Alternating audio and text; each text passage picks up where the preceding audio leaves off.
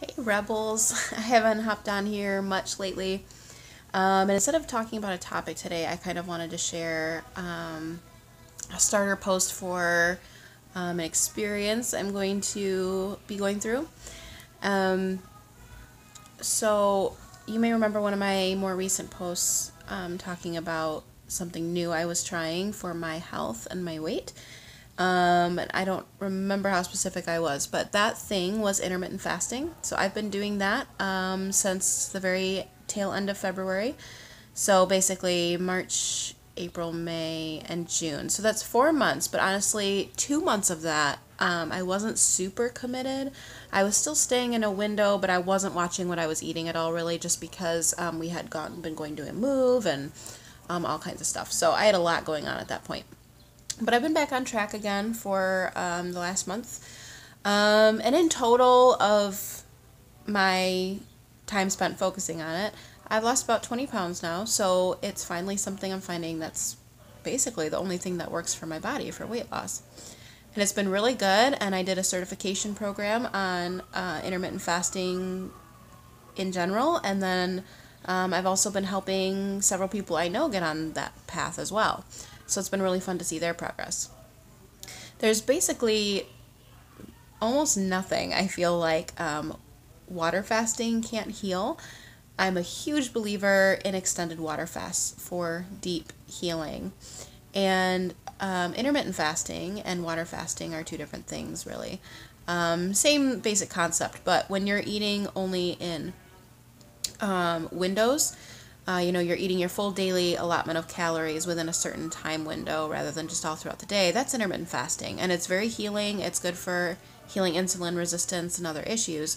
But it's not going to do that deep tissue regeneration that water fasting is going to offer. In that, water fasting can heal so many chronic diseases and it basically resets your system as a whole. You get into that autophagy and um, that really deep, like primal healing place that humans are actually capable of getting into. However, extended fasting is really, really difficult to put into practice. As much as I believe in it, it's a struggle to go there, especially for me emotionally. Um, in my much younger years, as a teenager and very early 20s, I, I really struggled with um, an eating disorder. And eating disorders and fasting really are two very different things. It's all about your intention, what you're healing. It's not starvation. You know, eating disorders go beyond where you're like, there's no more fat left in my body, but I continue to starve myself for a psychological purpose, you know?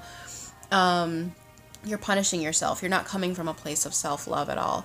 Whereas to do fasting for healing and spiritual growth, it's it's a much different place you're coming from in the first place. You're not um, you're not coming from a place of self-loathing, and you're not trying to hurt yourself. You're trying to heal yourself. So just emotionally and spiritually, it's a very different thing, but also physically because um, you would not fast beyond what your fat stores have to offer, other than just um, your maintenance mode, where you're like, okay, I don't want to go back to grazing because that's not good for my body personally. Um, but you know, I no longer have a need to do an extended water fast. I, you know, I have burnt off a lot of these toxins through ketosis or whatever. Um, so anyway, just to say they are a different place, but for me, it's a struggle emotionally because when I've tried to do extended water fasts, it sort of takes me back to that place. Um, not not spiritually, like it doesn't make me start wanting to question my self-love or things like that, but it does take me back there mentally of like just remembering the struggle I had and it invokes so many of the same feelings and you know even just physically where it just takes you back there and that's difficult for me because I think I must still have some healing to do um, for all the self punishing I really did. You know, um, I I definitely had no self love for myself um, as a younger person, which is very sad to admit to, but it was true, and it's not true for me now. But um, you know, it's always kind of a struggle to um, to kind of go back there and revisit some of those mental process processes we had. Um, but that said, I am needing to do a water fast. Um, and I've been needing to do one for years. Um, but every time I try, I either quit because I do have a certain something in me that um, sort of calls uncle really early when I get uncomfortable. And that's something I need to work on. Um, but also, you know, there's always something getting in the way. You have an event coming up or whatever.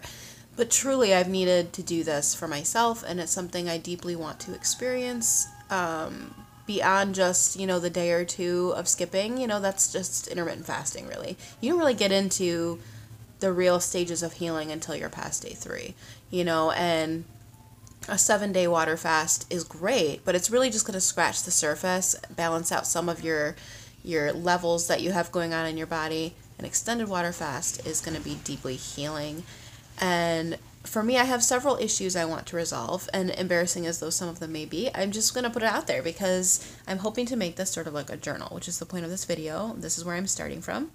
I do have some clips that um, maybe towards the end I will put in of kind of, you know, the state my body is in right now. But um, more so, it's other things for me. I have some gum issues that I think I mentioned in one of my previous videos, and they're just, they're, they've been swollen for years. Like, 2015 maybe. 2014 even. They have been swollen um, for so long and a couple things have helped and so i'm going to do those things as well. Um, specifically swishing with xylitol has been it really changed my gums a lot because they were a lot worse. And they've stayed good even when I've stopped doing that, or stayed better even when I've stopped doing that.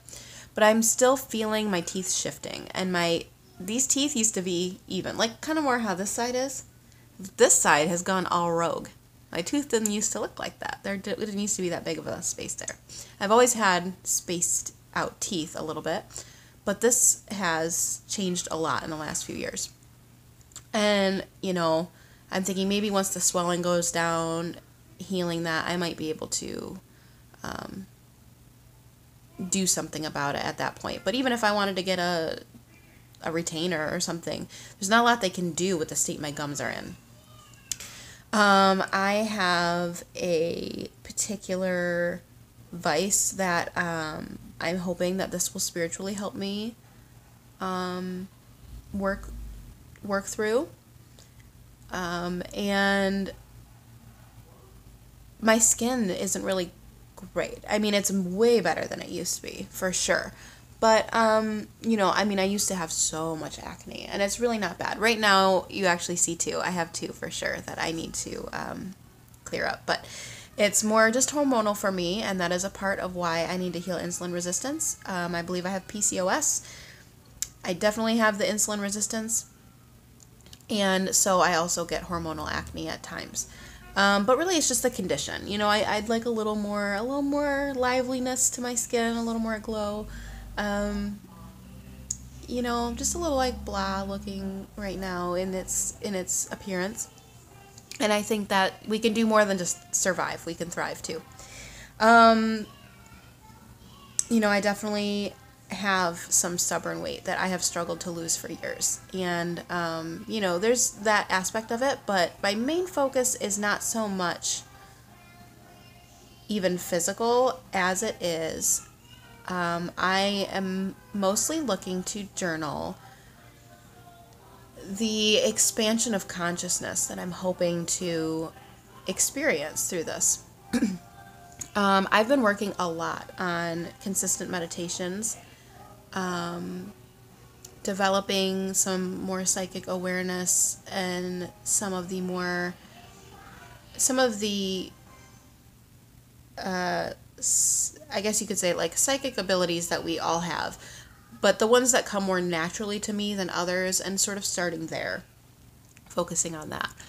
And I feel like the closer we get to breatharianism, you know, the um, the more expansion we are able to achieve at times, and this is going to be different for everyone. And I'm not saying necessarily to live your life in a constant state of breatharianism. You know, we have a physical body that we need to care for and um, protect. And um, that's an important aspect of uh, loving ourselves, you know, as well. But I do want to um, move towards being more removed from the dependence on food, especially primarily the emotional dependence, where if something devastates your day, you're sort of like, well, screw it, I'm going to eat whatever I want. Um, you know, whatever. For me, especially, um, I've been really trying to make an effort to stay totally gluten free. Um, and I've been doing really well in comparison to my usual because that's what my body needs. My body needs me to avoid gluten and grains. Grains are much harder to avoid. But um, gluten is a struggle. You know, I grew up on bread and all of that. Um, so that is tough, but I need to honor what my body tells me, and I am looking forward to getting any remnants of things that are not serving me um, detoxed from my system. And I'm really just looking forward to the spiritual experience that water fasting is going to bring me. And I look forward to mainly vlogging about that. Um, I am not going to put a time on my fast. You know, some people do 21 days, 30 days, 100 days, whatever. I'm not going to put a time on that. I'm going to just um, do what I can. You know, maybe my first time will be like you know, three days, or maybe it will be 30, or whatever. It doesn't matter. Um, I'm going to just do my best and not put restrictions on myself as far as like when I tap out, I'm going to tap out, you know. But my goal is to go as long as I'm able to continue to get the most benefits. And I my plan is is to not make this my only fast in the near future. I want to, you know, maybe if at some point I end this fast, say after 5 days or something, then I'd like to get right back into it after I have whatever, you know, um, responsible meal I feel I need to have. Um, and this is just my own personal experience. I'm not recommending anyone do this without the supervision of a doctor and yada yada. But um, it is important if you ever decide to do this that you are responsible about it, that you're aware of what's going on in your body, that you have done research and study, and that um, especially that you come off of your fast in a responsible way. Don't ever come off a fast at the McDonald's drive-through. You know, um, and that in and of itself is not self-respect, um, and your body can't handle it. You know, you want to come off. You know, start on some lemon water, work up to like pure watermelon juice or whatever um, work up to a very high water content fruit like watermelon. Um, work in the tender greens a little at a time. And that's another big thing for me is I am hoping to adjust my palate a bit. Um, I struggle with I would say I eat a lot of vegetables, but I struggle with it. Um, you know, especially greens. I'd really like to change my palate. And obviously, through fasting, if you've ever seen anyone break their fast, they're just like, you could have fed them grass and they would have been like, oh, I'm so grateful for this. You know, it's just such an incredible experience. And I look forward to having that and changing my relationship with food. And mostly, I just want to spend this time in um, a deep meditation, in healing some inner child things that I'm hoping to work on. I think there's going to be some shadow work involved um, there are just quite a few things that as I'm getting older, they're piling up and piling up. And I'm like, okay, just one of these things. I was like, I should fast through this. I should work this out through a fast. And I didn't. And now I've got like 15 things. and so this is probably going to take me more than one. And honestly, the way that I would prefer my life to go in future would be I hope to go towards a direction where fasting and extended fasting is just a standard part of my life. It's not an experiment or something I'm doing or whatever. It's more like for me, I'm going to say this is my first step to um, this ideal lifestyle that I feel is right for me. Um, I feel like intermittent fasting and extended water fasting is an ideal part of at least my life um, and would be. For me, intermittent fasting, I feel my best. I feel much better. Um, my digestive problems have significantly decreased. My skin has gotten better. Um, my energy is is better a lot of the time. Um,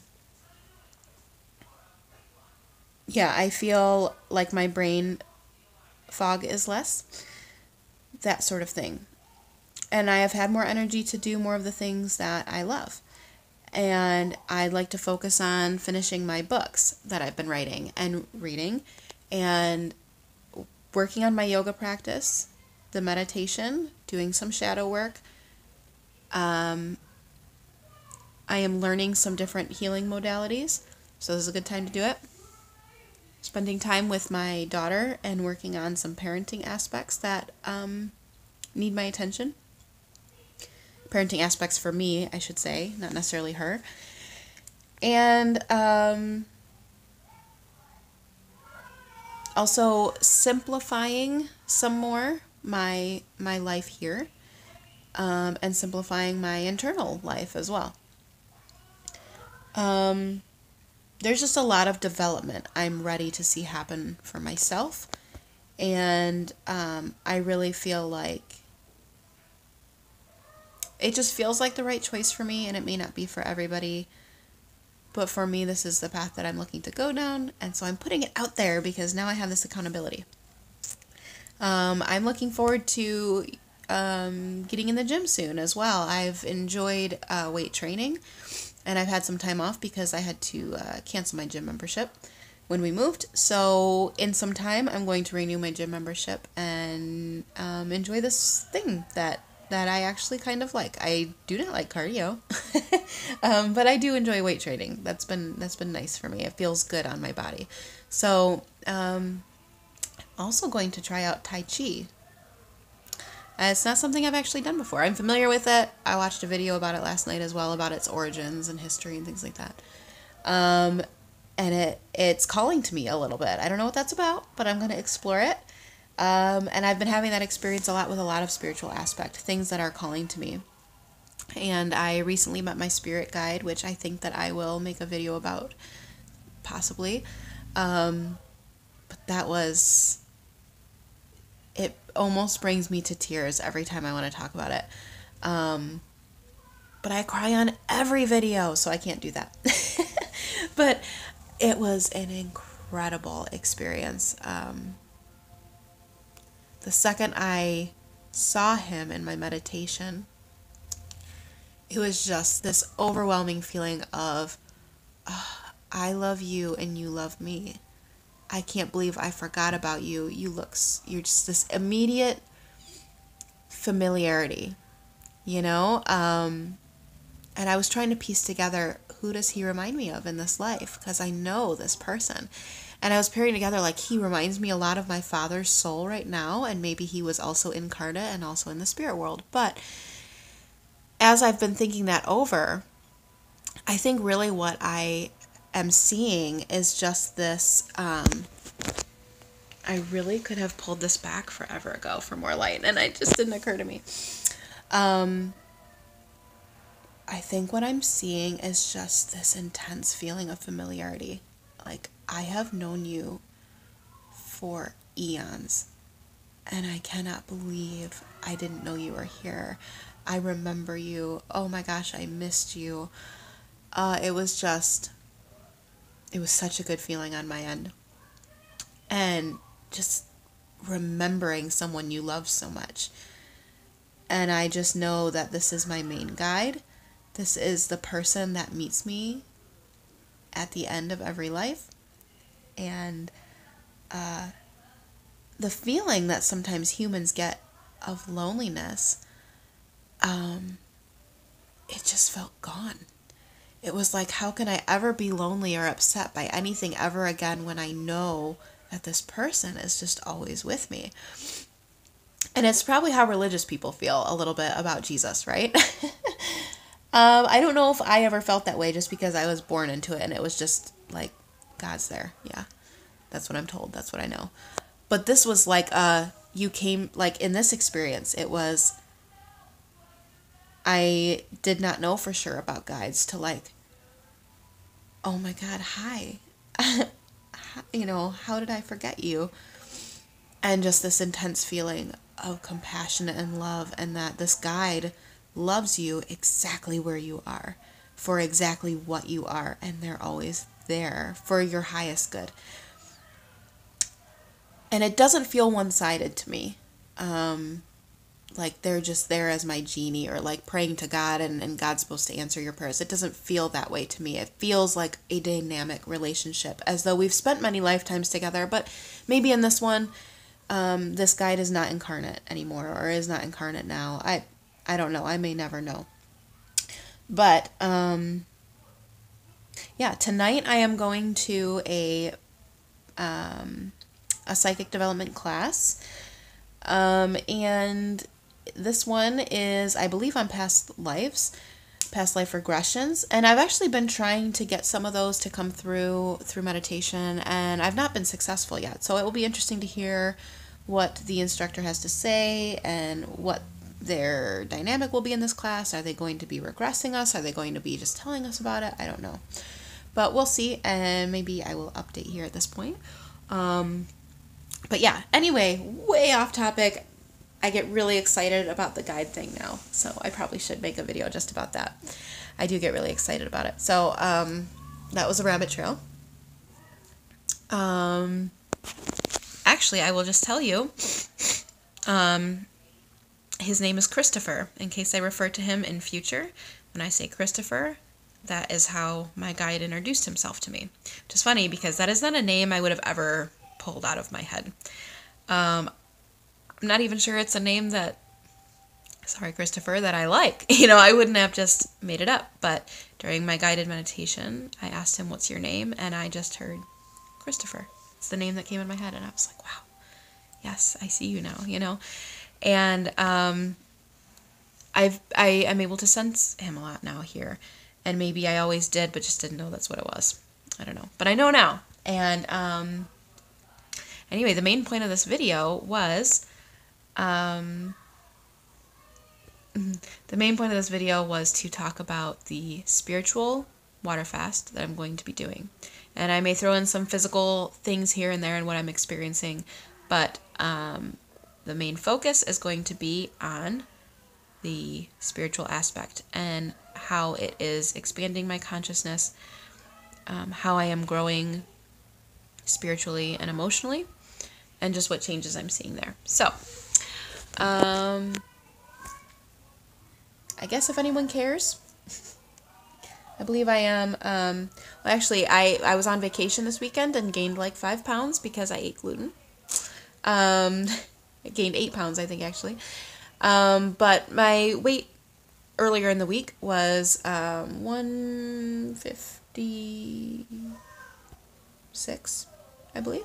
156. Um, and this morning I got a mixed result on my scale. My scale might be a little wonky, but it was somewhere between like 159 and 161.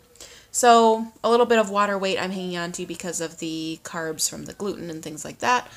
Um, but I am 5'6", just so you know. And um, again, mostly wanting to heal some oral things. Um, in, in, in my dental situation. I have a, I have actually two broken teeth. Um, one's pretty much totally actually broken out now. There's not really a tooth left there in, in the back in my molar. And my other, same molar on the other side, that one's just broken. Um, and I just have a lot of dental things going on. Um, so maybe I can work through my fear of dentists too. Otherwise, it's fine. It's mostly the inflammation, just because I don't know where it came from. Um, seemed fine, and then one day a few years ago, it just was inflamed, and it's like no matter what I've done, it's never gone away. I don't really know what that's about. So, um, that. And yeah, so this video was longer than I meant for it to be. Thank you for watching, and wish me luck. I will check in soon.